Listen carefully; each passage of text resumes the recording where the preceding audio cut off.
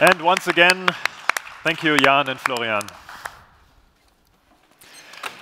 I hope, we hope you had a great lunch break. Thank you very much for joining us for the drone photo. And it's, it is our pleasure to welcome you to our next talk here on the center stage. Our next speaker is former CTO and co-founder of T3N. And since a couple of years, he shifted his focus and is now a part-time development consultant and part-time dad. So I'm very excited to look forward to his experiences that he's going to share with us. So please give a warm applause for Martin.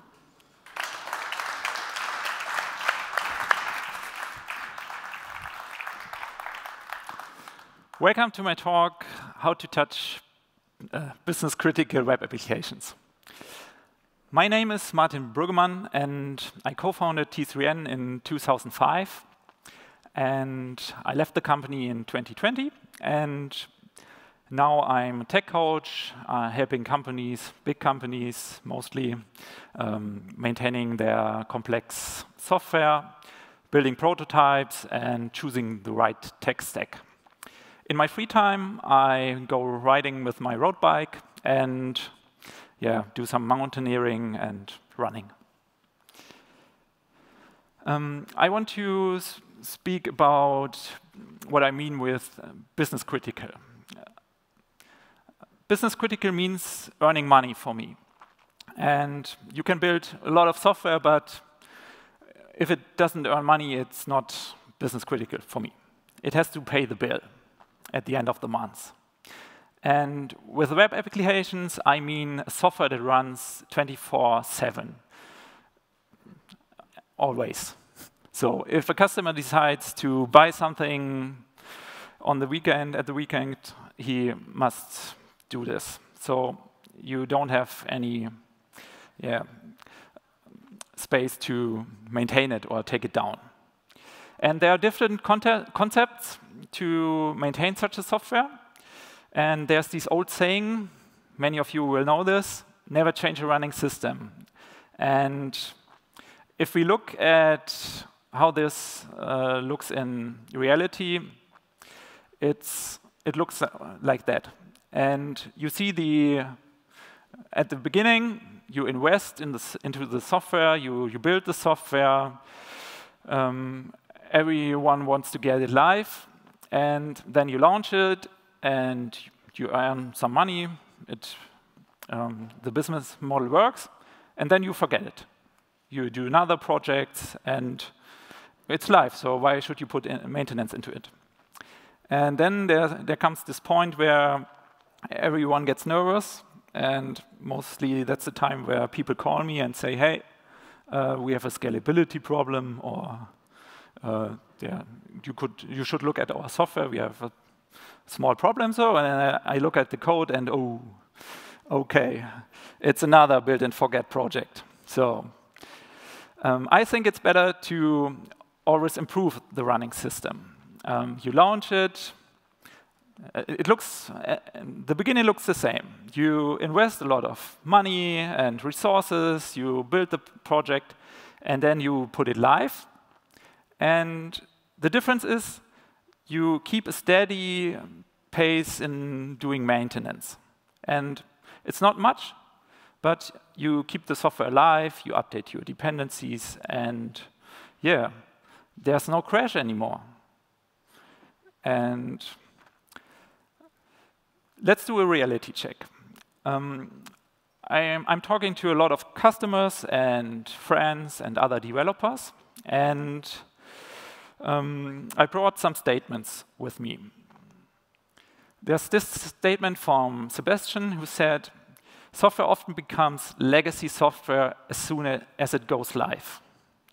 And I thought about this, and yeah, why is it like this? And another friend of mine said, legacy software earns the money. Okay, why is it legacy software that earns the money so often? And if you think about what you're using every day there's legacy software everywhere. Um, mobility providers use it, SaaS companies, um, your government, banks, agencies, logistic providers, and maybe your company. Are you using legacy software? Who's using legacy software? Hands up? Yeah. oh, to be honest, I thought nobody uh, put his hands up, but okay. It's a really honest audience. And yeah, if you want to take one learning um, with you today, I say never stop maintaining. And this is me on the roof of our house. Um, yeah, I hadn't a problem with the roof, but I thought it would be nice after 10 years to just seal it again. Um, I had some trouble to explain it to my wife, but uh, my idea was to be happy in the next 10 years. So yeah, I just did it. Now I want to tell you a personal story. Um, in 2004, and yes, I'm old, um, my father asked me if I could, buy, uh, could build him a cheese shop. Um, you may wonder why a cheese shop. I don't know. He was a successful consultant in the food industry, and I was studying, needed the money, so I thought, okay, I built a cheese shop. Um, I used TYPO3 for it and built a custom extension. Um, there was no e-commerce open source shop system back then. So yeah, I built it for him. It had some basic order management and product management in TypoScript and all that ugly stuff. And um, yeah, then in 2005, a large banking software company asked me if I could build them a B2B shop. And I said, yeah, why not? I have this cheese shop. Maybe I can improve it a bit and then, okay. So it got cross-selling and B2B price calculation and such things. and they were happy. I sold it to them. Yeah. Is this the end? No. In 2005, um, I founded this company called uh, T3N, or Yeebase, what's the company name, together with other colleagues. And yeah, we uh, produced the magazine, the first issue, we had um, business success. But then someone uh, mentioned that we, we don't have a shop. So you already know it. I took the old cheese shop and yeah, uh, 19,000 lines of code later, um, some years later, it had 19,000 lines of code in one file. And the problem was just um, I didn't have the, the, time to refactor it and make it nice and make it flexible. And we had all that success, so I, I needed to take some decisions and just, yeah, extend it in lines of code, not nice code. Yeah, and then come, came the point where um, in 2014 we had to relaunch everything. We, we did a complete rewrite. There was just this point where we noticed that the, the old store um, yeah, can't survive. So it took us two years and many painful hours to build the new project.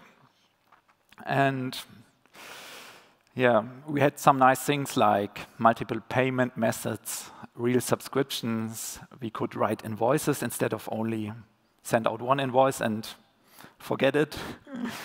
and we use Flow for that, and um, it helped us a lot. We had things like uh, message queues, event sourcing, uh, a nice REST API. And it helped us really to grow our business and be successful. And now comes the interesting point. Um, I looked at the website yesterday and it's still live. It's the old store from 2014. We made about, we handled about 50 million euro order volume during the launch. And yeah, it's still based on Flow, but the software survived me. I left the company in 2020, and Yeah, that's great. But I asked me, what is the strategy? Should they put in more maintenance now, or um, is it a build and forget strategy? To be honest, I don't know. But during the last years, I thought a lot about zombies. And maybe that's a bit crazy for you, but um, many of you, you build uh, complex software, and it's always um, hard to yeah, handle your zombies. And I show you a zombie. It's this one. It's a legacy zombie. And um, you have it everywhere in your old unmaintained software. And the thing is, there are small zombies. Maybe if you're only some front-end stack dependency updates, that's no problem. But if you have a critical business software and um, you don't put maintenance time in it, it can get a serious problem. And I lost a lot of lifetime explaining these uh, serious problems to my co-founders and other stakeholders. And what I noticed is they don't see the zombies. And this is the same view for a non-technical person. And um, to show the dramatic of this situation, I show you my view and you think it's shortly before the end. And that's an interest, interesting question. Um, how can we fix such a project if everything is shortly before the crash? And I will show you my top five learnings. And um, I think the main thing is not to not a technical thing you have to plan with maintenance in mind. And that means if you are talking to your co-founders, your stakeholders, your leaders, um, most companies, they, everyone just plans feature sprints, launching products, making the customer happy, but you don't have these maintenance phases where you just block time for fixing things or improving things keeping your business model healthy. Um, no one says at a board meeting, hey, I want this week where we all uh, have the time to fix our currently working projects. But you should do. It's and another thing is uh, we, we don't throw things away. Um, I don't know when have you, uh, the, when was the last time when you uh, throw something away? A feature that didn't work? Um, last month? Who, who threw something away from life in, during the last month because it didn't work? Ooh. How did you explain it to your CEO? okay. Um, I think that's the long-term goal, keeping the software lean, um, removing things that don't work or um, that are, aren't efficient, and saving some, some time for, yeah, having time for the real um, problems and the cool features that earn the money. The second learning, know your zombies. Um, I, met a I meet a lot of companies that say, oh, we have these problems and that problem and all that stuff. But I think it's really important to do your homework and make a prioritized list and talk about the main top five topics and only focus on that. Um, in many companies I'm working with, they have so much problems and it's really hard to keep focus, to stay focused. Yeah, and um, also use all the possibilities in monitoring and tracing, for example. When you are working with PHP, there's this wonderful Tideways product, for example. I, I don't have any shares, so but um, I, I forgot it, and now I'm working in a project where it saves a lot of time. Yeah, and, and the test uh, thing is also worth a look. Um, I'm not the biggest unit test uh, writer like Carsten, for example, but uh, I think there's uh, an enormous power in just writing some E2E tests and test the business value of the product. So there's no excuse for not writing tests anymore. There are frameworks like uh, Cypress or Playwright where e even junior programmers can build really good tests. Yeah, number three learning.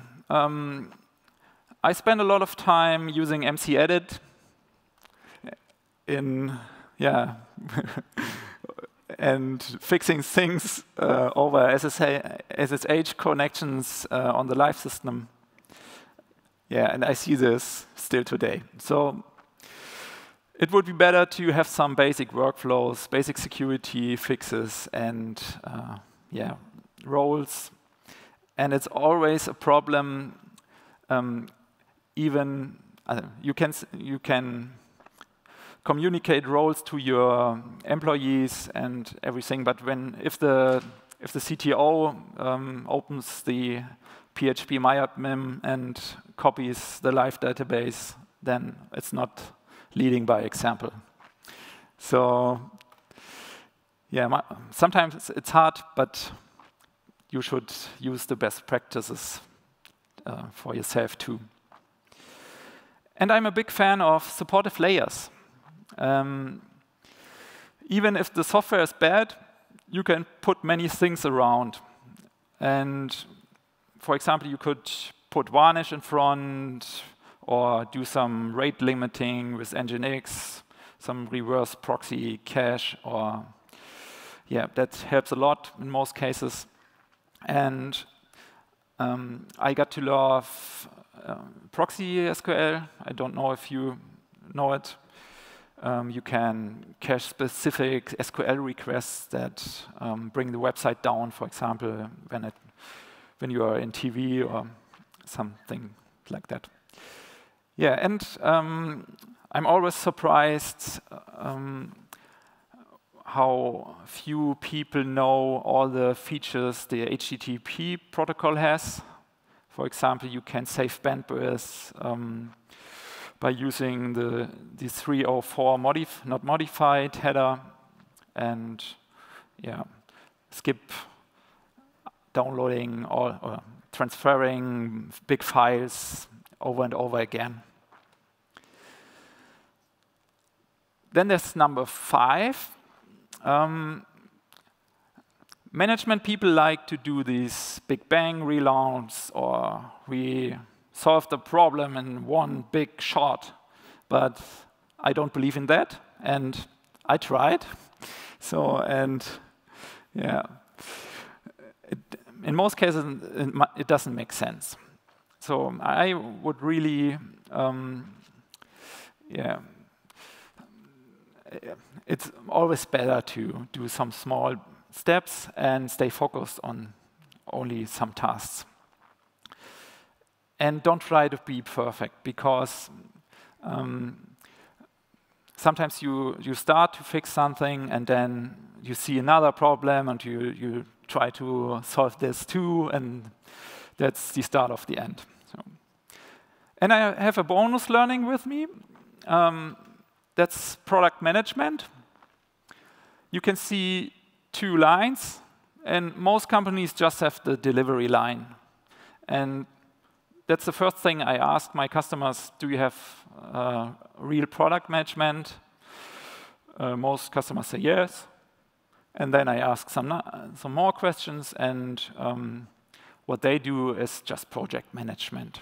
They put, they write issues and they implement it and then they look at it and see, oh, it, they don't work.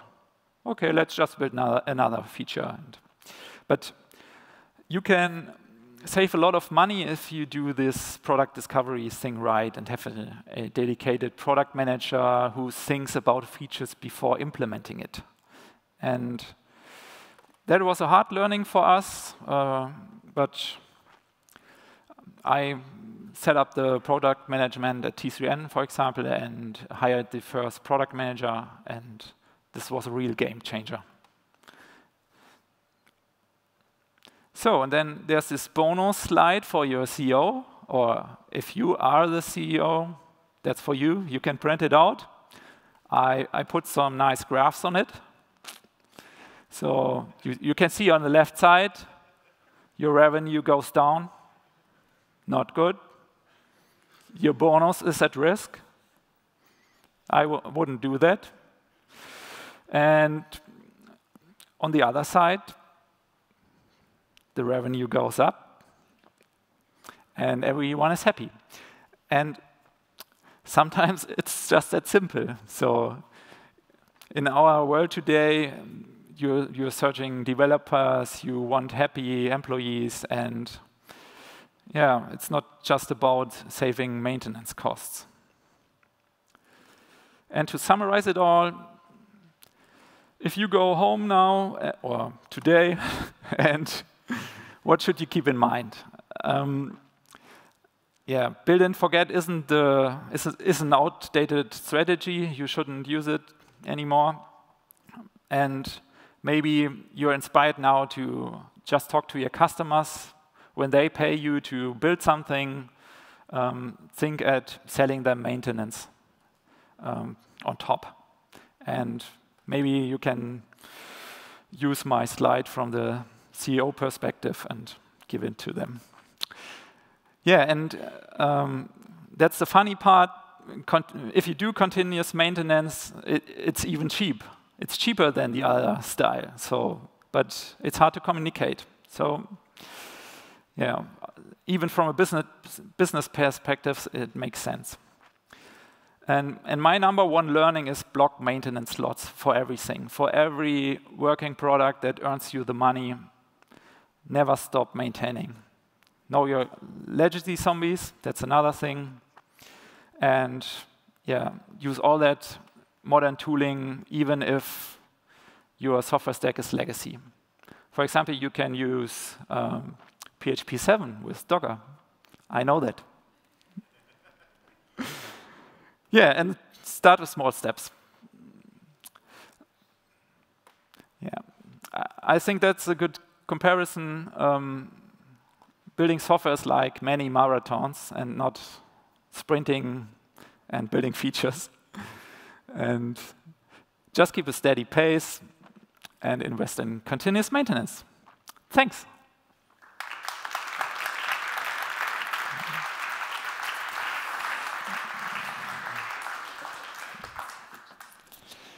Thank you very much, Martin, for these insights. We do have a few questions. Yes. If you still have some questions, please submit them via the app, and we will. We do have time to talk to Martin. So uh, the most important question um, at first, I guess, what happened to the cheese shop? Oh, I have plans to rebuild it. No. uh, my father sold the whole company again after I built the shop and now he's living in Costa Rica. but not, I, am unsure if it is based on the cheese shop price, don't know. Uh, so, how do I convince my CEO to invest in maintenance? Any tips? Yeah, the, the main thing is it's cheaper in the long run. So, it's all about money, and CEOs got that right, and if you show them the graphs, I think he will understand it. I, I, see a pattern here. I think it was a similar uh, answer with the, with the rockets, where they said, yeah, you have to invest money because if you wait too long, it blows it will, up. Yeah? It will disintegrate, yeah. was it? So uh, is there a difference between tech debt and maintenance? Mm, tech debt is the problem. I didn't uh, mention the term, but it's the same, yes. Um, you have some legacy zombies, that's tech debt. And maintenance is fixing these things. So I, I guess I have a last question. Um, did you come to Berlin by bike? Ah. To start with. Um, no, I, I thought about that, but uh, I have another event at this weekend. I'm, I go mountaineering with my little sister. Yeah, and so that it would would have taken too long. But I'm planning to do a trip through Germany from Flensburg to Garmisch this year, and I think that's enough. I have one more question. Oh, uh, Martin, you mentioned that maintenance blocks should be planned uh, in the regular development cycles. Do you have an idea, a percentage of time compared to feature development? Any experiences you have there? I know CEOs love KPIs, yes. but uh, that that totally depends on your team size and um, yes, strategic plans. Um, if you want to shift your whole business model, maybe you do a bit less maintenance phases, but um, yeah, if you continue, continue growing your current business model, I, I would say something like maybe every month, at the end of the month, we just do maintenance for one week or such things. But you can have plans. You also have to act according to your plans. And that's also something I see um, many companies have good ideas, but then the customer calls and says, oh, we have this new money for you, please do this. So, and then you need to yeah, have a good leadership team that uh, handles this. Have you have you seen any examples where that was done very well, where you saw a um, software project where maintenance was handled in a very good way? Mm, yes, um, there's the king way of not needing maintenance blocks, but this is 1% of all tech companies. And you just um, have a continuous release cycle and everything is covered by tests. then you don't need maintenance uh, blocks. But I, I, didn't mention this here because I don't think uh, we have companies here, but maybe some uh, real SaaS product companies do it like that. Spotify maybe, but um, I know some people at Spotify, they have other problems. All right. Thank you very much for sharing your insights. Please do rate Martin's talk in the app so that it's not, not too long until we will award the Best yes. Speaker Award. So thank you very much, Martin. Thank you. It was a pleasure.